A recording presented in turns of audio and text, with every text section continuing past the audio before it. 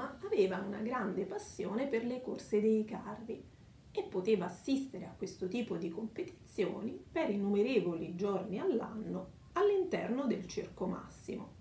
Infatti, dall'età repubblicana all'età imperiale, il numero dei ludi circenses andò progressivamente incrementandosi, tanto da arrivare a ben 66 giorni nel IV secolo d.C. Inoltre, durante l'impero, aumentò il numero delle corse organizzate in una singola giornata e vennero organizzati sempre più spesso spettacoli che duravano a mane ad vesperum. Il Circo Massimo era un edificio di dimensioni davvero ragguardevoli, con 580 metri di lunghezza. Pertanto i carri in gara dovevano percorrere una distanza di 5335 metri in un tempo stimato di 12 minuti e 48 secondi nei sette giri di pista che costituivano la gara. Si trattava di una distanza e di tempi davvero ragguardevoli per il mondo antico.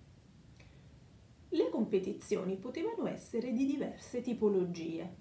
Si potevano avere uno, due o tre equipaggi per fazione e quindi il popolo poteva vedere nella pista gareggiare contemporaneamente 4, 8 o 12 carri per le quattro fazioni del circo quella dei bianchi, dei rossi, dei verdi e degli azzurri.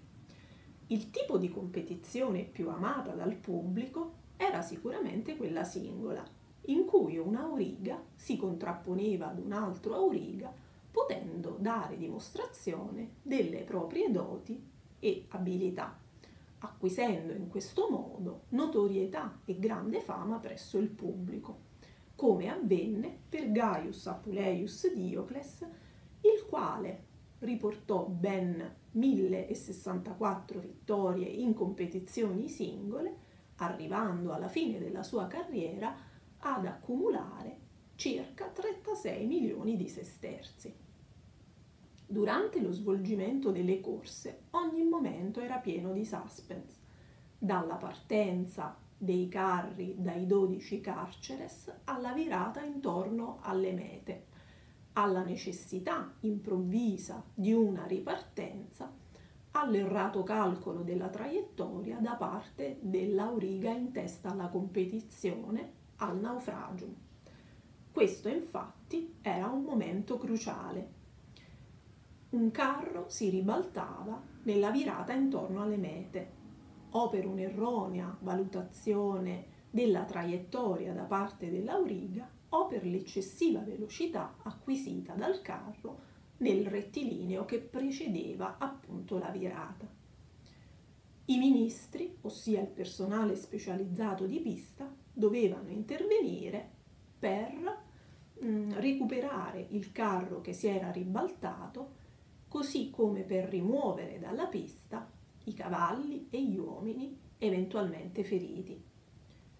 Gli spettatori dai loro posti a sedere lanciavano grida di gioia, di esortazione, di imprecazione, rivolgendole sia verso gli aurighi, sia verso i cavalli, di cui spesso conoscevano i nomi, ma anche verso altri spettatori, vicini o lontani, spesso perché si trattava di fan di un'altra fazione.